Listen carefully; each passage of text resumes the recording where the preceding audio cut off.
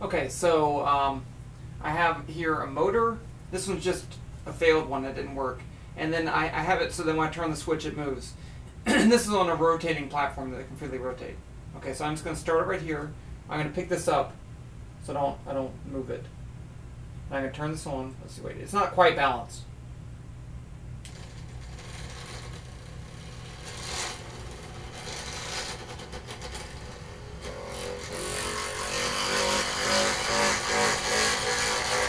Okay, now I'm going to turn it off.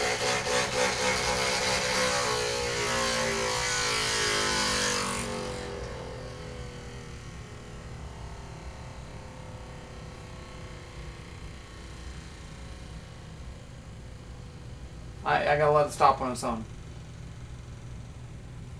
I mean, I guess I could just... I don't think this would be cheating.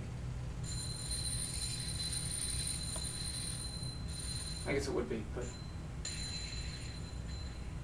Okay. Well, when that stops, then this would stop again. Now let's try it. Um, let's see. So I'm going to spin it this way and then turn it on. Okay. So let's see if we can notice a difference.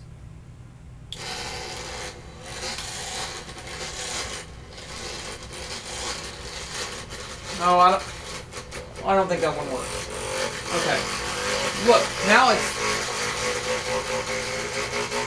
Okay, I'm gonna stop it right here. It's spinning. Now watch when I turn it off. Wait.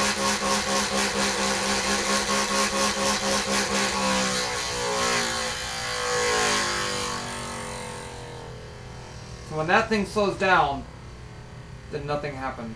That's embarrassing. This isn't quite balanced.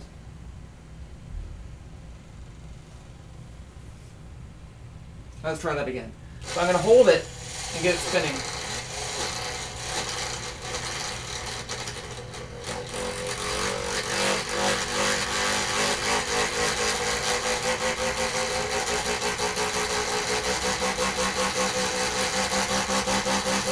Okay, now I'm to stop it.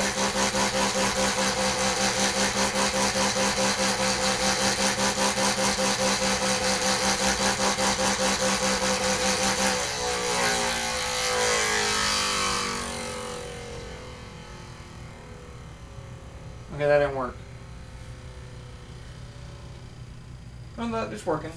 It's making it spin. So when that stops, this moves to conserve angular momentum. Okay, now I'm going to show you one more thing. Let's take this.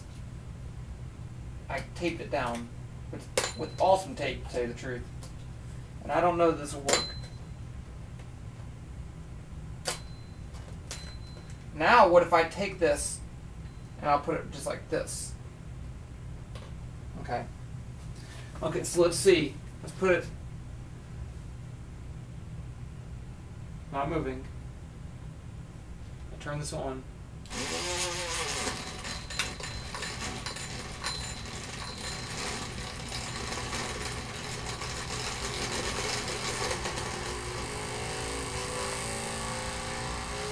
it was wobbling a little bit, but it doesn't it doesn't change it because this has an angular momentum this way, and, it, and this doesn't want to rotate this way.